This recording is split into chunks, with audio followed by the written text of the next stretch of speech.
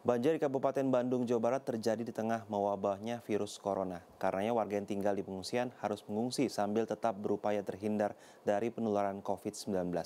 Saat ini status tanggap darurat penyebaran wabah corona di Kabupaten Bandung disatukan dengan tanggap darurat banjir longsor. 104 ribu jiwa di 13 kecamatan di Kabupaten Bandung terkena dampak banjir hingga Rabu siang. Banjir yang diakibatkan intensitas hujan tinggi yang terjadi sejak hari Senin lalu menggenangi 24 ribu rumah dan beberapa ruas jalan sehingga menghambat lalu lintas. BPBD Kabupaten Bandung mencatat sekitar 3.500 orang terpaksa meninggalkan rumahnya dan tinggal di pengungsian. Karena itu, Kabupaten Bandung memasuki masa tanggap darurat banjir dan longsor yang waktunya disamakan dengan tanggap darurat wabah virus corona hingga 29 Mei 2020 mendatang. Cakupan wilayah yang terdampak juga cukup banyak. Yang biasa kan tadi saya katakan yang terdampak 104 ribu jiwa.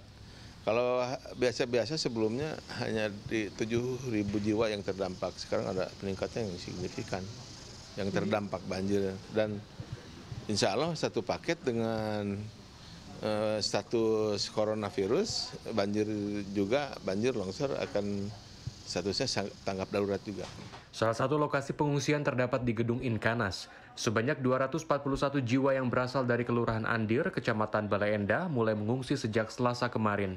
Untuk mengantisipasi penyebaran virus corona, sebagian pengungsi menggunakan masker dan tidak berkerumun.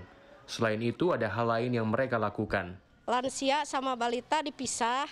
Terus yang masih yang masih kuat, masih muda e, dipisah juga dan untuk cara pengaturannya kita bagi jarak direnggangkan gitu. Untuk masker sama cuci tangan gimana Mbak? Uh, dari masker alhamdulillah dari pihak BPPD, terus dari pihak rumah sakit juga udah dikasih per jiwa. Terus untuk cuci tangan sudah ada. Di tempat pengungsian ini terdapat dua keran untuk mencuci tangan. Sayangnya, dua keran yang disiapkan BPBD ini tidak berfungsi optimal. Di gedung pengungsian Ingkanas ini disediakan keran untuk bercuci tangan. Namun seperti kita lihat, keran ini tidak berfungsi karena air digunakan di tempat lain. Sehingga kegunaannya untuk menghindari penyebaran wabah virus COVID-19 kurang efektif.